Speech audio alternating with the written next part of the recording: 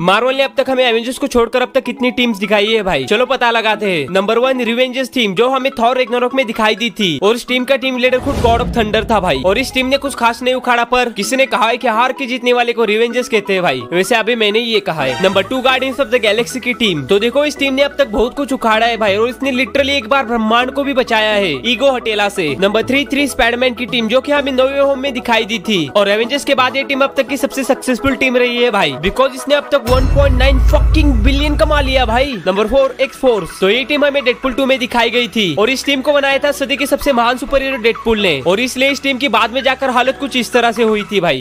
भाई ये तो शुरू होते खत्म हो गया। Number five Civil War movie की टीम एक अपने आयरमैन की टीम और एक अपने कप्तान की टीम और इस लिस्ट में मैंने वकांडियंस इटरनल डॉक्टर स्ट्रेंज की टीम सैंक्ची की टीम ऐड नहीं की। बिकॉज़ ये टीम्स एवेंजर्स के पहले से एग्जिस्ट करती थी भाई। और इटरनल्स को वैसे भी नालू मैं अपने वीडियोस में। इमोशनल